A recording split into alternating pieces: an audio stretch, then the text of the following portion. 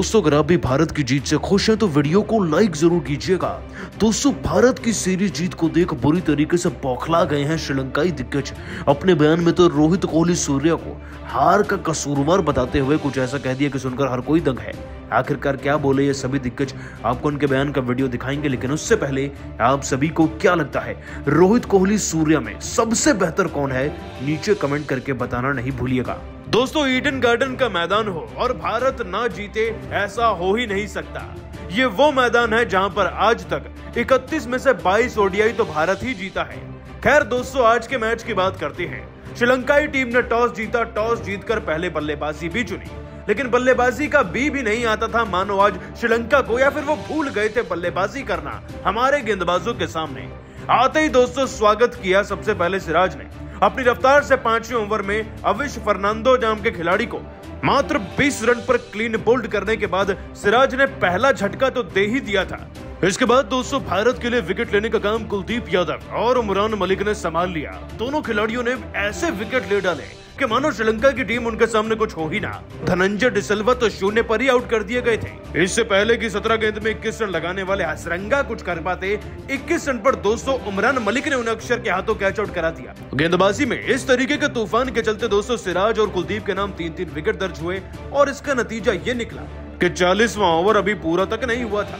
कि श्रीलंकाई team all out हो गई, वो भी मात्र 215 रन पर है। दोस्तों 216 का लक्ष्य ज़्यादा तो नहीं होता, लेकिन इसे चेज करने के लिए आज ईडन गार्डन में कभी श्रीलंका के खिलाफ ही 404 चेस करने वाली भारतीय क्रिकेट टीम के पसीने छूट गए। दोस्तों रोहित शर्मा जब 17 रन पर आउट हो जाए, शुभमन गिल इक्कीस रन और विराट कोहली चार रन पर तो पसीने तो अपने आप ही छूटेंगे। बीच में श्रेयस अय्यर अट्ठाईस रन ज़रूर बना गए थे, लेकिन जब छियासी पर चार विकेट हुए ना तो सबकी हवाइयाँ उड़ चुकी थी। अब भारत को एक ऐसी पारी चाहिए थी जो इस मैच में भारत को जिता दे।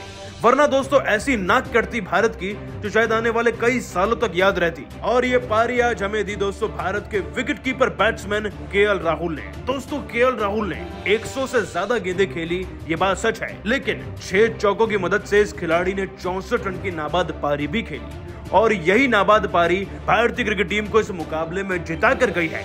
हालाँकि दोस्तों, बीच में हार्दिक पांड्या के 36 रन, अक्षर पटेल के 21 रन, कुलदीप यादव के भी 10-12 रन इन्वॉल्व थे इसमें। लेकिन जिताया तो हमें कहीं ना कहीं केएल राहुल ने ही है। लेकिन दोस्तों, भारतीय क्रिकेट टीम से हारने के बाद श्रीलंकाई दिग्गजों का गुस्सा बुरी तरीके से फूट चुका है।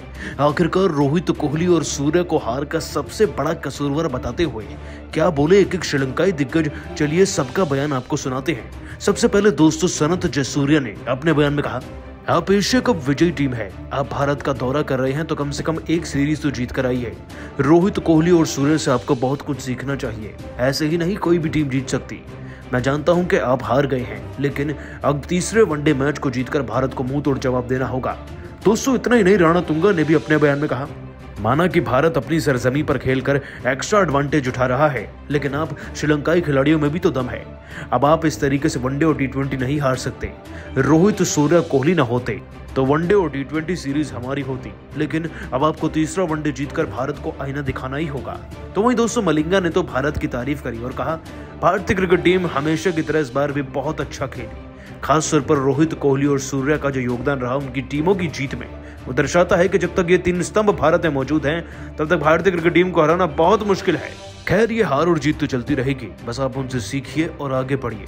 तो वहीं दोस्तों जाते जाते अपने बयान में महिला जयवर्धने ने भी कहा, भारतीय क्रिकेट टीम की जीत देखकर मज़ा आया, दोनों मैचेस बहुत अच्छे थे। भारतीय क्रिकेट टीम ने श्रीलंकाई खिलाड़ियों को एक अच्छा खासा पाठ पढ़ाया है।